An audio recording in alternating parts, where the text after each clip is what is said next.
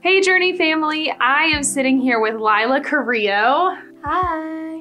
And Lila is a seventh grader here at Journey, um, and she loves she loves art, she loves her family, and most importantly, she loves Jesus and she loves Journey.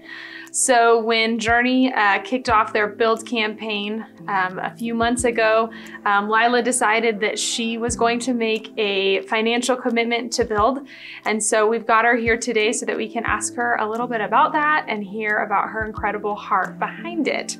Um, so Lila, thanks for being here. Of course. So tell me, how long have you been going to Journey? I have gone here since 2019. Awesome. How have you grown spiritually and in your faith um, during your time at Journey?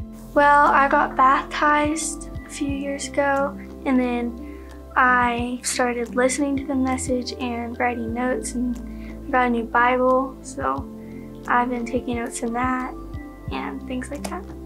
That's awesome. Why did you make a commitment to build? I just heard like a voice, and God just told me to do it.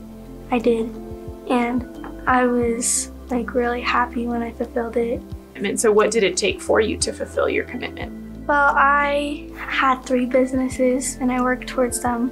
One was I had a bracelet business, and I had a business on Instagram called Loved, and I like drew their families and I just did art for them and then I started babysitting for my close family friend and it was really amazing and it opened the door for me to fulfill it and so I fulfilled it um, last month.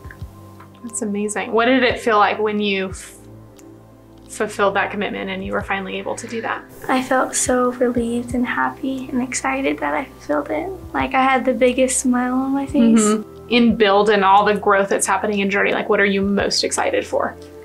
Um, I'm most excited for the youth ministry, like the downstairs area, um, to have like our own little space, and that like there will be more room for new new people to get to know Jesus and love Him and praise Him.